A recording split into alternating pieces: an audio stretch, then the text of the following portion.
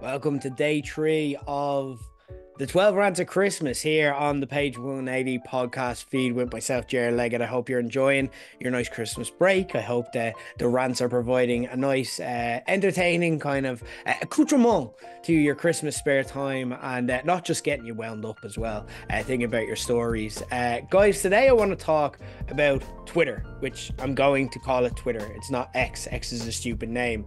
Um, because obviously we had uh, you know, threads recently launched over here. And I feel that it's relevant because I know we've said goodbye to Twitter many times before over the past while, but it starts to feel like with threads coming in, as that starts to get more popular, you know, it will be something that we will start to phase out because I feel like Elon Musk totally misunderstands the phrase when life gives you lemons, make lemonade. Because mere months after purchasing one of the world's most popular social media platforms and Twitter, Musk has turned it into what I feel is representative of any social occasion he's tried to take over and make into something that was really cool, uh, really insufferable almost immediately.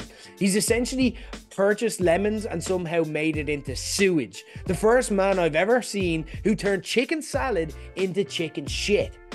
The European launch of Threads may prove to be the nail in the coffin for what the Tesla founder has renamed X.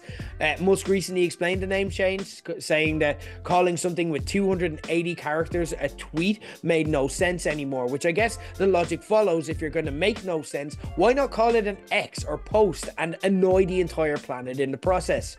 Seriously, it is almost impressive levels of incompetence for Musk to make Mark Zuckerberg into the good guy. This is the same Mark Zuckerberg who had an Oscar nominated movie uh, made about what a snake he was, and that was on his journey to becoming a global CEO. That, if you think about it, is insane because we see so many of these inventors, tech bro kind of rise and fall stories made into movies these days. Half the movies out there seem to be these type of movies. And the textbook story, origin story, usually begins with a nice nerdy guy having a great vision that the world just couldn't see, that in the end changed the way we live forever. Zuckerberg started off at incel level by creating a website for him and his fellow virgin friends to rate women they were afraid to talk to that fell arse backwards into changing the planet and only became more of a dickhead from there. He's a man who has so few redeemable qualities that he just bypassed the visionary nice guy stage entirely, and then his ingenious invention in just a few years went from being the place where everything happened to the place you actively avoid because it was where you learned that your distant elderly relatives were a little bit racist. Now he's perhaps more popular than ever, and it's not like he's done anything particularly good. He's just not Elon Musk. And you realize how bad you have to be at being a billionaire CEO that you give free positive P or a lick of paints to every other billionaire CEO around the planet? And yet here we are. And if threads can be just can just prove to be basically functional, which again comes with being better at being chronologically rather than just get rid of the for you tab, stop recommending us, just let us follow who we want to follow, uh, and so that we can all tweet about sports and the toy show and follow along in real time. And that's literally it, and you're there. It seems as if we're all about ready to say au revoir to the global town hall and instead move into pretty much an identical town hall next door, but just not invite Elon to the party with it finally looking like there's a pathway away from Twitter. I've actually got nostalgic for some of the good times I've shared on the app, and do you know what? I actually couldn't think of many, uh, which is fucking depressing when you consider the amount of time I've spent on it over the years. It's like realizing that I've gone to the same holiday destination every year for all of my life and then just bitched about the amenities every time I got there. But I do have three stories that come to mind for generally wild experiences on there. So let's call them my Twitter greatest hits. Number one, nearly getting sued for accidentally outing radio DJs as sex pests. For legal reasons, I'm obviously not going to mention names uh, in this uh, podcast, but one day, a particular uh, Irish radio shock jock, aka an absolute fucking melt, decided to piss off every single wrestling fan on the, in the nation for no reason whatsoever. Maybe they woke up that morning and it was the first time they couldn't see their tiny pe- penis peeking out over their beer belly. Maybe their wife accidentally called him John Cena while closing her eyes, tolerating sex with them and pretending she couldn't see him. Who knows? But they decided to choose violence that day when they opted to spend their afternoon on Twitter having a go at adults who like wrestling. In other words, they said, hey, people who like something I don't and will never intersect or bother me for any reason, fuck you! And being a person who at that time ran a successful events and media company largely aimed at adult wrestling fans, how I found this tweet was via the friends and customers of mine. This totally unprovoked, preventable attack was upsetting. Plus, I also realized this person was someone that I'd had a run in beforehand in my old day job and could easily take the wind out of his sails. You see, I actually spent a few years of my life working as a security guard in a well known adult store, and I'll share those stories some other time. Don't worry, I have plenty. But one particular time, the, and I use this term loosely, personality and their fellow Shock Jock co host were doing a social media blitz around Dublin, promoting a new show of theirs that was starting by taking zany pics and acting, acting like total madzers with well known landmarks and stuff like that. I knew this because I got into podcasting after dipping my toe into radio and became a bit of a radio anorak myself, but enjoyed the freedom and autonomy of podcasting more. But I'd seen what they had been doing. So when they bundled into this adult store, giggling like 12 year old young fellas finding the condom aisle at the local Tesco for the first time and started making to get the phone out to take funny pics, I got the context of what was happening. But it was also a big no no because the main purpose of this particular establishment was women buying lingerie and often just regular underwear which they need to wear on a day to day basis. Because of the adult nature of the store, they may feel a little self conscious in doing so, though. So, a good 90% of my job was either just keeping creepy old men away from making inappropriate comments to the staff, or just making sure the place was a safe, discreet space that allowed these women to shop with dignity. And two weirdo radio DJs behaving like kids trying to get mad pics with regular customers potentially in the background is the total opposite of that the way you deal with this is simple. You just kind of walk up and you have to treat them like children and just shame them. So you just walk up and you're like, guys, what are you doing? Why are you doing this? And you just ask them questions that makes them have to justify what they're doing and realize how pathetic they sound in doing so.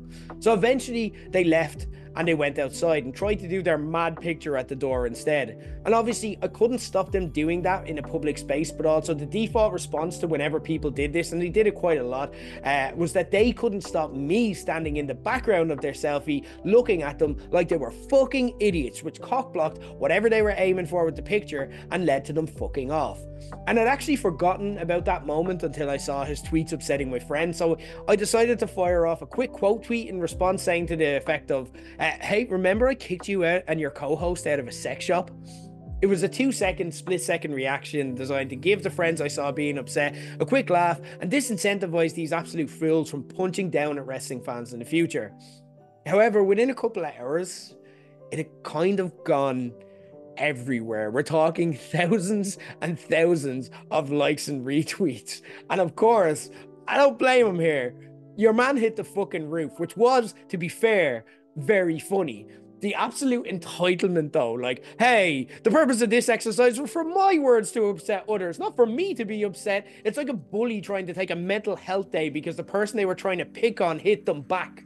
The most tragic aspect was that the first instinct he had was to tag his solicitor complaining, who, for what it's worth, was a woman who probably dealt with tons of lads like this. So got the context immediately. Uh, so, you know, privately, she looked at it and immediately probably had a little giggle to herself. She'll never admit it, but we all know she did. But she had a job to do, so ran through the motions of sending me threatening public tweets quoting defamation laws, which I'm no legal expert, but I don't think that's how the justice system works. I don't think I got a subpoena that day.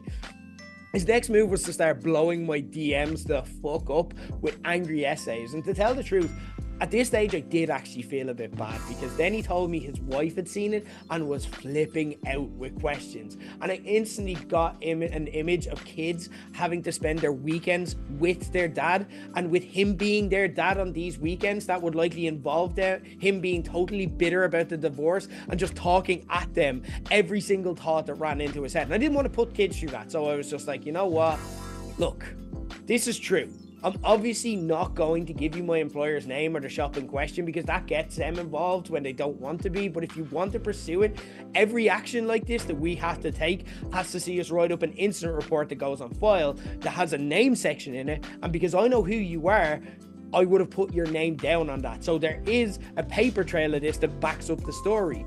But I did write this to give my mates a laugh, and I wrote it in the way where people, and, and to be fair, I did write it in the way where people's imagination could run wild and they could think of it whatever they wanted.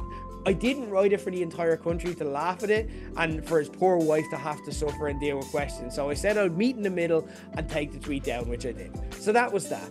Well, it wasn't. He continued to hound my DMs like I was a girl he went on two dates with who ghosted him and he felt there was a real connection there. So I ended up just blocking him in the end. But there you have it. The most viral tweet I'll ever have. And I didn't even get to plug my SoundCloud. What an absolute fucking waste.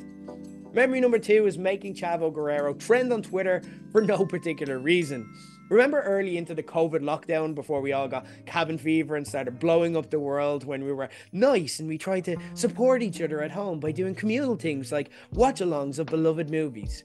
That was really nice and all, but they totally robbed that fucking idea from me in my old company, Low Blows, as far back as 2015, I believe, we got the idea to pick old classic wrestling pay per views and rewatch them in sync with our listeners and tweet along as if they were happening live. And I really missed those days. It became a full on all day event with during the day me hyping it up by tweeting out nostalgic things like what the number one song and movies were at the time or what sports events were happening at the time. So by the time you arrived to watch the Royal Rumble 1998 or whatever it was, you felt back in that 1998 mindset. Listeners even began running their own bits within it, such as shout out to Owen Davis, who ran a morbid but also sneakily fun uh, death pool where people would guess how many people on the show had subsequently died since.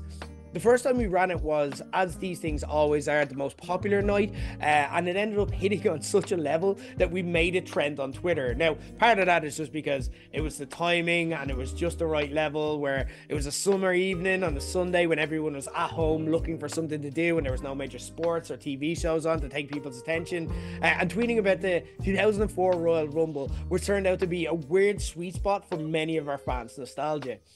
The best part was that there were so many of us who joined in, we ended up being able to kind of mobilize throughout it to confuse the ever loving fuck out of so many celebrities at the same time.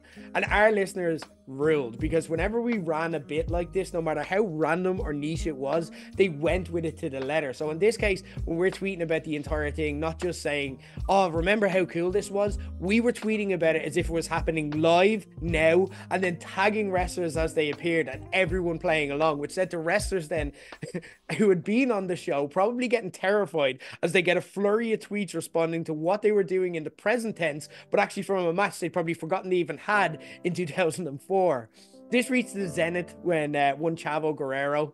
Uh, at the time, we whenever we discuss a new pay per view on the show that happened, we'd rate it on what we called the Chavo Guerrero scale, which would be absolute bollocks taking the piss out of rating scales. When my co-host Don would rate a show, stuff like Four Mankind's having a pint with nine Triple H's or whatever.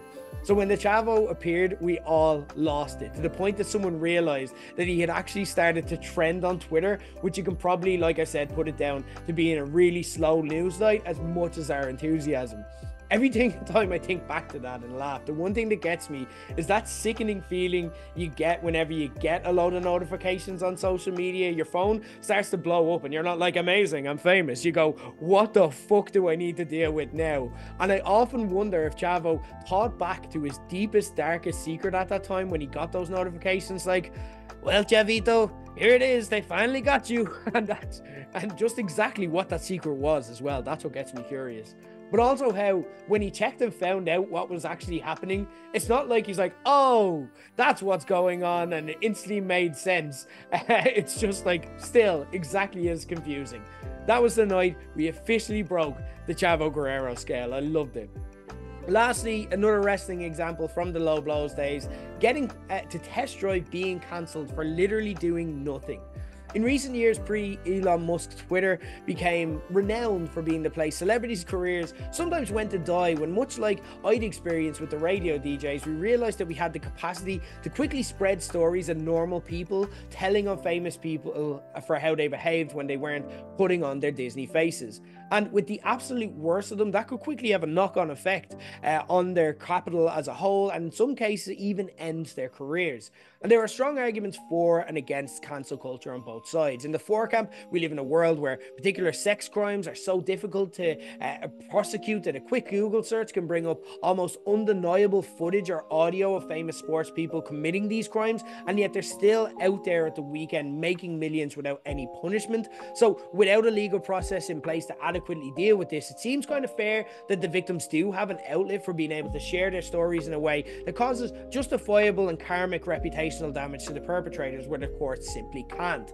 On the flip side of that, this can also be abused as a way to settle scores. It lacks the assumption of innocence and due process that people are entitled to in order for them to provide meaningful context that could be critical in deciding if someone actually did or didn't do anything wrong. Also, what are the rules? Like, are we saying that it's okay to support and spread something that could damage someone's life meaningfully if they committed a crime, or if they just had what we consider to be a bad take or do something a bit embarrassing or cringy? What is the kind of where, where's the line? And we don't really have that and we kind of just go about it anyway.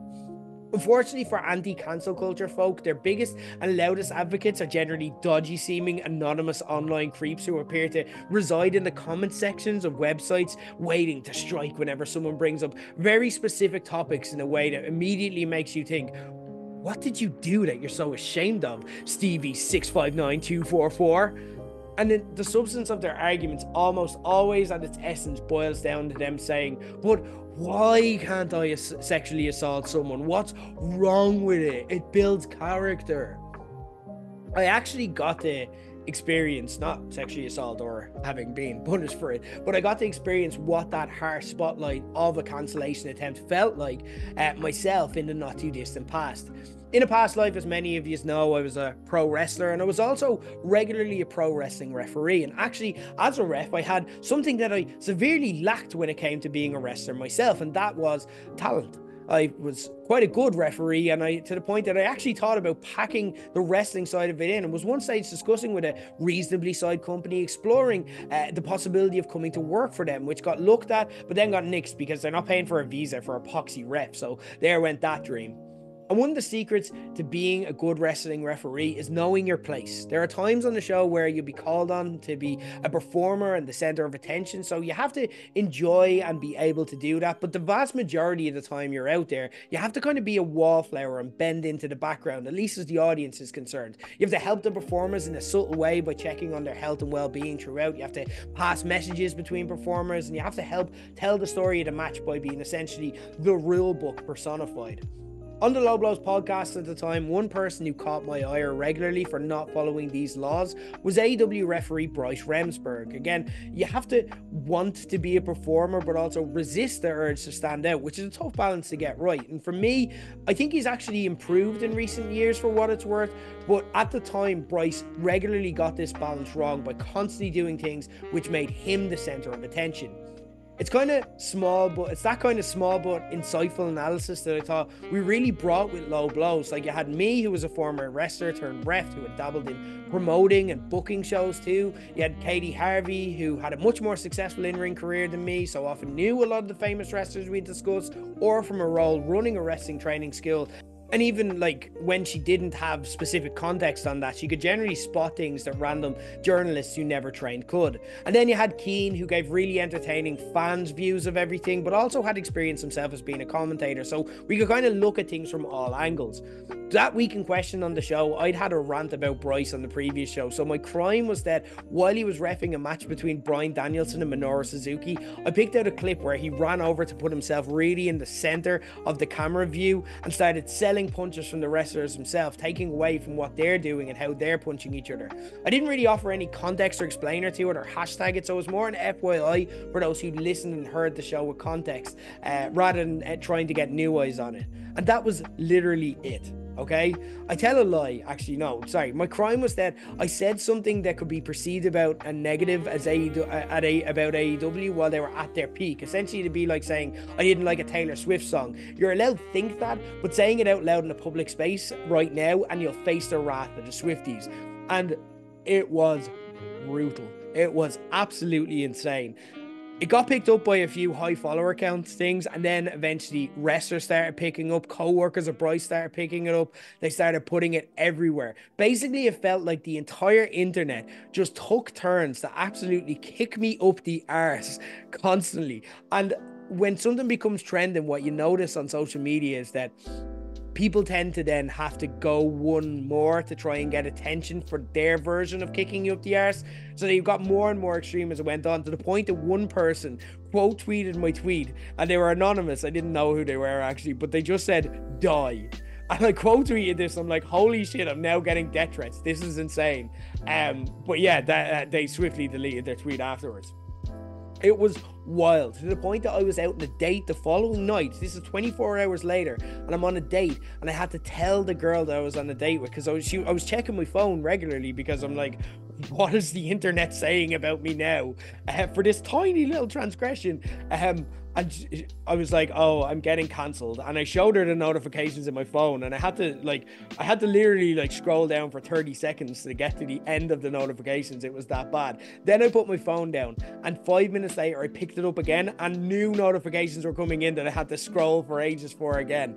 It was insane, and uh, it didn't stop for like three, four days, and people just kept making it bigger and bigger and bigger. Now look I'm a big boy. I've done this for a long while as well, like being kind of in the public eye or whatever. I've never got the fucking money or never got the fucking follower count for it, but I have put myself out there and I have dealt with kind of stuff like this before. So I was mentally well equipped to be able to kind of just laugh it off. I made a bit about it, and our listeners started coming in and being like, "This is gas," and I kind of joined in with that. So I had my little corner where we just thought all of it was really funny, and who cared about the rest? They can say what they want, they'd forget about it, and they did. A few days later, it was forgotten about. But what made it what made it worse was that a week later, this exact same ref fucked up the finish to a match by getting too involved and doing exactly what they said. And then everyone, the instinct response was, Do you think that guy from last week was right? And I'm like, fucking yeah, I'm right. I'm a fucking referee. I know exactly what he was doing and how it was wrong, you fucking assholes.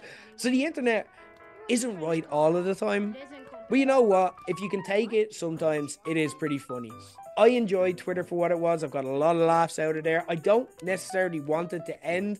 Like I, I, I and if Threads takes off and can be just as fun as it was, and we get those kind of moments and laughs and the experiences like Eurovision, the toy show, all those shared experiences, I think it can be great. I really enjoyed tweeting along with Big Brother recently, for example, but it can have its downsides too. So again, just take that in mind too. You get the good with the bad, the rough with the smooth. So, ladies and gentlemen, having said all of that, I will say thanks for the memories, Twitter. If this is eventually the beginning of the end, um, but yeah, like Elon Musk, you can just fuck off. Uh, and yeah, Threads, follow me, by the way, at Ger_Leggett. There you go. This has all been a sneaky plug for you to follow me on social media. That's what I do, guys. Thanks for listening. Uh, enjoy your Christmas. Back tomorrow with more.